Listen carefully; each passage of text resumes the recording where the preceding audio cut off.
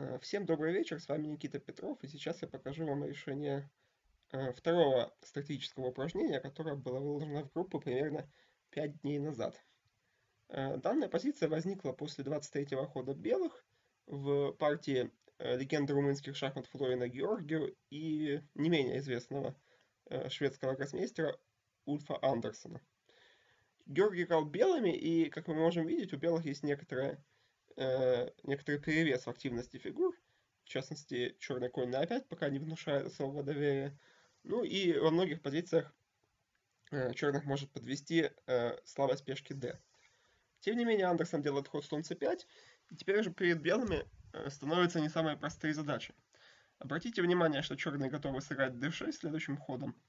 Ну и, например, на какой-то абстрактный ход белых вроде король g2 действительно следует d6. Теперь после комби, комби прошу прощения, c6, комби c6, bc, ладья c7, у черных совершенно нормальная позиция. Наверное, правильнее будет сказать, что у черных просто перерез, потому что пешка на c6 потеряется. Если же э, белый конь уходит назад, например, на f3, то непонятно, за счет чего у белых здесь должно быть лучше. Э, неудачно расположенная ладья на b7 уже следующим ходом может перейти на нормальную клетку c7 или d7, Конь на 5 действительно пока не красавец, но за счет того, что позиция закрытая, белые пока не могут этим воспользоваться. К тому же обратите внимание, что конь на 5 контролирует э, два важ, важных поля, на которые мог э, встать его белый оппонент. То есть тебе конь c4 и конь b3 не сыграешь. Таким образом, вот эту позицию можно смело оценить как равную. А это означает, что вместо хода король g2 белым надо изыскать здесь возможность сразу оказать давление на позиции черных, и такая, такая возможность находится. Э, более того, она всего лишь одна. Э, сильнейший ход за белых это конь c6, и именно так э, Георгию сыграл в партии. Ну и теперь у черных, перед черными становится выбор, но не самый обширный. Понятное дело, что ферзь висит, брать пешка на c6 нельзя из-за потери ферзя за счет связки. Соответственно, у черных остается не так уж много ходов. И два основных это комби c6 и ферзь 8 ну, обратите внимание, что если черные вводят ферзя не на а8, а на какую-то другую клетку, например, f8, то после коня 5 бра а4 эту позицию можно смело оценить как э, стратегически выигранную у белых, потому что у них более активные фигуры, и что даже еще более важно, защищенная проходная на b5. И я не вижу, каким образом здесь черные могут оказывать сопротивление.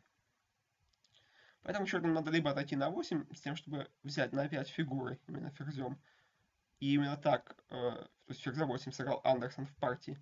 Ну и вторая возможность это комби c6, которая, как мне кажется, оставляла черным больше шансов на успешную оборону. Белые должны брать, ладья а7. Ну и вот здесь перед белыми, э, у белых есть две возможности. И, в принципе, обе заманчивые. Первая из них это ладья d1, в случае чего белые готовы взять на d7 пешкой, создавая мощнейшую проходную. Черные должны играть d6. И после слон бьет d6, ферзь бьет d6, ферзь бьет d6, слон бьет d6, ладья бьет d6. Нельзя брать на 3 за c7 и ладья d8. То есть надо играть король f8. И здесь после шаха ладья b8 получается, прошу прощения, вот такой вот ладейный эншпиль, в котором белые сохраняют определенные шансы на победу, но и э, возможности черных здесь далеко не исчерпаны. Более того, как мне кажется, объективно эта позиция ближе к ничьей. Хотя, безусловно, черным еще придется попотеть, чтобы достичь этого результата. Ну, вторая возможность на ладья 7 это сыграть c7, сразу создавая мощную проходную на седьмой горизонтали. Черные должны отвечать, прошу прощения, на самом деле не должны отвечать ферзь c8, потому что в этой позиции, как после слон d6, так и после компьютерного хода ферзь d2, у белых довольно большой перевес, и не видно, как черным избавиться от этого зажима. Поэтому больше шансов здесь на успешную оборону оставляет ладья c7. И после слон бьет c7, ферзь бьет c7. Но мы видим, что у белых личное качество за пешку. Э, риска в позиции, безусловно, нет никакого, но выиграть будет непросто. Все-таки слон на c5 достаточно силен, и непонятно, собственно, где белым пробивать эту позицию. То есть, когда черные пойдут d6, получится, что ферзевый фланг будет полностью заперт, но на королевском добиться прогресса не так легко, не ослабляя собственного короля. Поэтому можно сделать вывод, что э, ход, ход комби c6 здесь оставлял черным больше шансов на успешную оборону. Но с другой стороны, э, шведского шахматиста понять можно. Я не, не удивлюсь, если он недооценил ответ белых после ферзя 8.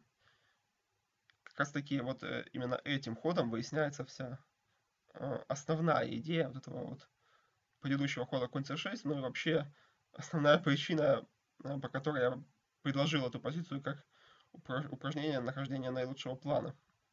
Здесь белый играет конь b4, и теперь все становится понятно. Следующим ходом конь идет на a6, оказывая, во-первых, давление на пункт c5, то есть продавливая вертикаль c, ну и также еще дальше ограничивая черную ладью на b7. Ну, понятное дело, что устранить этого коня черные не могут, потому что после слон b4, а b конь на 5 теряется.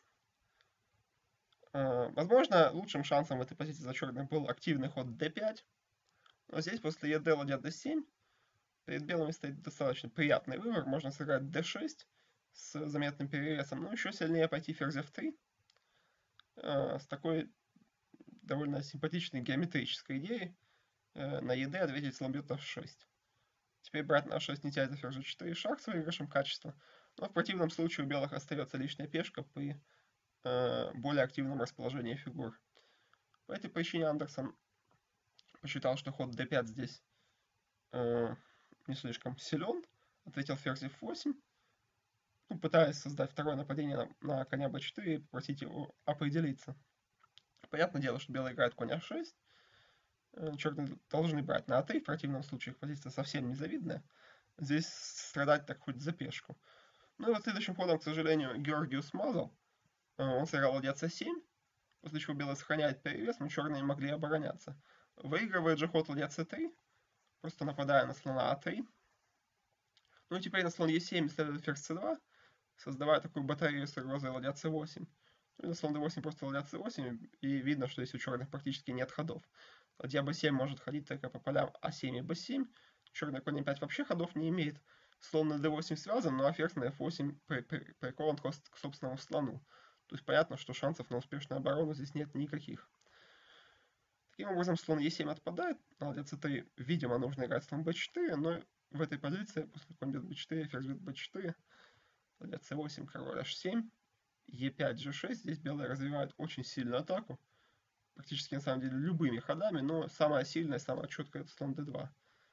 Мы видим, что белый слон намного сильнее черного коня, но и также создана сильная угроза ферзь f3, ферзь f6 или ферзь f3, ферзь бьет f7, мат.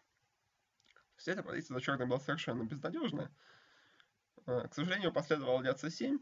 Этим э, Флориан немного смазал впечатление от такого вот позиционного шедевра.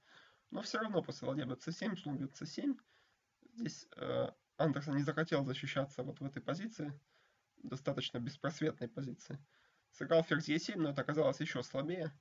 Белые отобрали пешку на b6, ну и после слон c5 последовал завершающий тактический штрих, конь бьет c5, на ферзь бьет c5 опять следует ферзь d7 с легко выигранной позиции.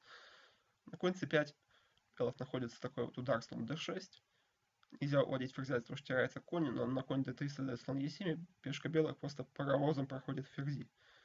В этой позиции Андерсон сдался, еще могло последовать конь e5, b6, конь c6, но белый просто играет b7, Следующим ходом слон d6, b8 ферзь. Ну и понятное дело, что с лишней фигурой выигрыш в этой позиции элементарен. Э, надеюсь, что вам понравился, понравился данный пример. На мой взгляд, э, эта позиция служит очень хорошим образцом э, такого мышления, что не всегда фигура, которая стоит внешне красиво, действительно выполняет свои функции. Ну и часто бывает, что та фигура, которая согласно азбучным э, прописным истинам шахмат она стоит нехорошо, на самом деле э, по конкретным причинам оказывается расположенной прекрасно. Вот и здесь конь на e5 вроде бы стоит в центре доски и контролирует много полей, но реальной пользы от него немного. И буквально за несколько ходов конь переходит с центральной клетки на э, край доски, и позиция черных сразу разваливается. Ну, а следующее стратегическое упражнение выйдет совсем скоро. Всем спасибо за внимание. С вами был Никита Петров.